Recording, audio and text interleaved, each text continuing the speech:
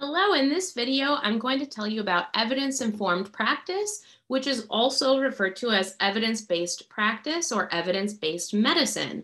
Um, so these are three terms that mean essentially the same thing. Uh, so most clinicians use these terms interchangeably depending on how they learned it or depending on what setting they're in. Uh, so I want to tell you about what this means. Um, evidence-informed practice or evidence-based medicine or evidence-based practice is an important clinical competency for all healthcare professionals. So in any facet, any area of the healthcare profession, um, whether you might be a, a trainer, strength and conditioning specialist, maybe you're a dentist or a surgeon, or in any area, nursing, any area of healthcare, it's important to have the ability to integrate research with the patient presentation and clinical expertise to determine the, the best course of treatment or the best way to proceed with that person. Um, so it's the incorporation of evidence to guide clinical decision making. Now, I want to point out that evidence does not strictly mean research evidence.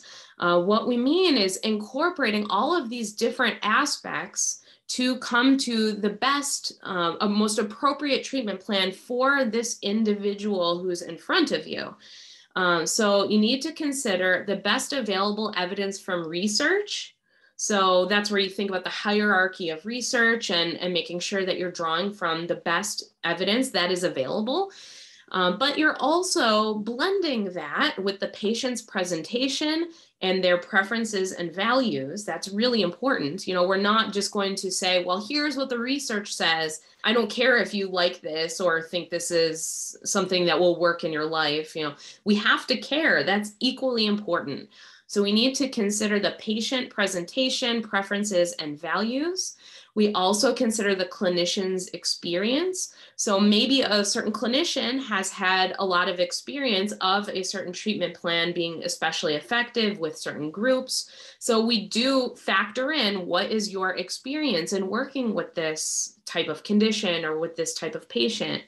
And the less clinical experience that you have in that area, the more you might lean on the evidence from research. And then you also consider the history of the profession.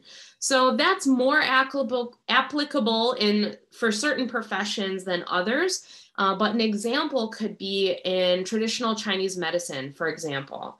Um, so there might be some evidence from research, but there's also a couple thousand years of history of the profession and how uh, different clinicians in that profession have addressed different um, conditions and patients and, and use different treatment plans. So that might apply more in some professions than others, but it is an important consideration in some professions.